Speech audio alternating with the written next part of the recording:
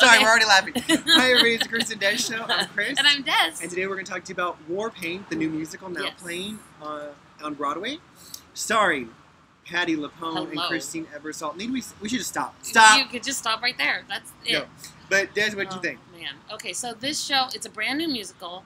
It's about these uh, makeup titanesses who uh, are were fa- were um, fighting against each other about uh, Who was makeup. better, yeah. Who's who's the best? Helena Rubinstein. Right. And so it's interesting story, which I which I didn't know about. I didn't. Yes, absolutely. So it kind of is there a book? Was it based on a book? I yeah. I yes, there like is a there's book called there, War Paint. which yes. I might want to go read actually Yeah, you because should. it was really interesting. But the show, but these ladies are amazing. Christine Ebersole could sing all day and night. I would love it. I listen to her. Patti LuPone is.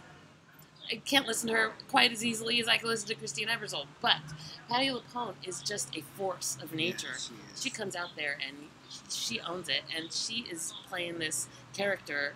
I think probably ideally, just I would imagine that she was exactly like her.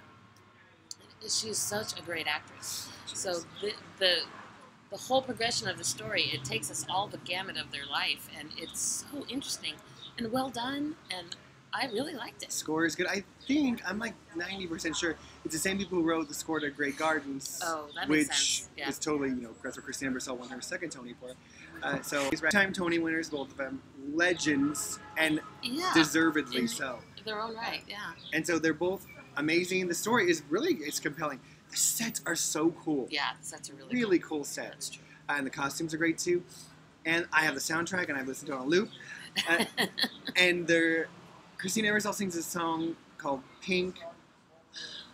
It's so good. I remember when that finished, I looked over at Dad and I'm like, I love that song. I just knew it right away, and so I listened to it each time. And Patti is like Patti, revved up, She's bigger great. than life, She is and great. she's fantastic. And Christine is, man, she is flawless in her singing. She is like on it every night, every time. So she's fantastic as well too. So it's a great show, really good show. Especially if you know anything about Christine Ebersole or Patti LuPone, you'll love it because yeah, they're at their best here. They're fantastic. So it's yeah, really good. go see. We're a rave. Yeah. Bye. Bye.